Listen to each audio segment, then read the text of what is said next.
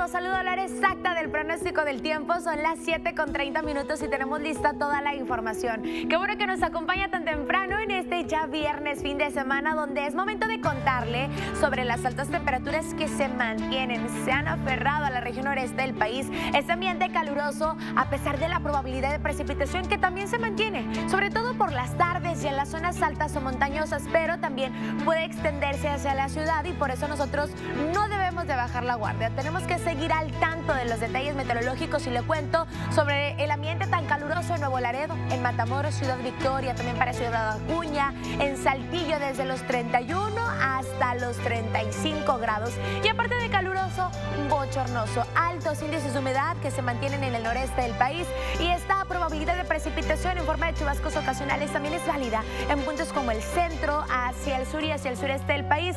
Lluvia que le reitero es de corta duración y especialmente por la tarde o bien puede extenderse durante las primeras horas de la noche. Esta tendencia de ambiente caluroso y de chubascos ocasionales se queda con nosotros todo el fin de semana, así que al tanto de los detalles meteorológicos.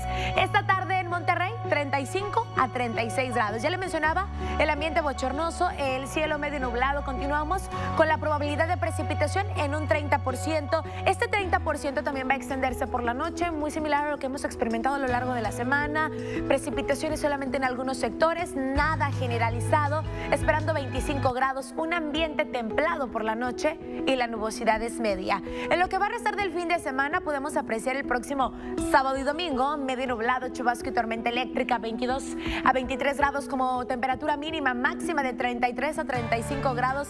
Se mantienen los altos valores, se mantiene este ambiente caluroso también para el próximo lunes, medio nublado, chubasco, tormenta eléctrica, mínima de 22 y máxima de 32 grados. Empieza a bajar un poco la temperatura y lo que incrementa, al menos para la próxima semana, será la lluvia el martes y el miércoles, medio nublado a mayormente nublado con tormenta eléctrica, 21 como mínima, máxima de 28 grados y ahora esperamos que el ambiente sea cálido.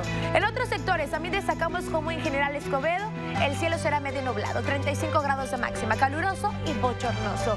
Hacia San Nicolás, Santa Catarina, San Pedro y Guadalupe, medio nublado, continuamos con este pronóstico de chubascos ocasionales, sobre todo por la tarde, la máxima 33 a 34 grados y continuamos con este ambiente tan caluroso y recuerde que cuando está latente la probabilidad de un tiempo severo, los efectos son los siguientes. Por supuesto la lluvia, también la probabilidad de granizo, continuamos con este potencial de granizo, de descargas eléctricas y hasta el viento puede estar dominando. Así que no hay que confiarnos, aunque ya sabemos que la recomendación es quedarnos en casa, por supuesto, si se tiene la necesidad de salir, sobre todo para ir a trabajar, una extremar precaución. Hasta aquí los detalles del pronóstico del tiempo. Buenos días.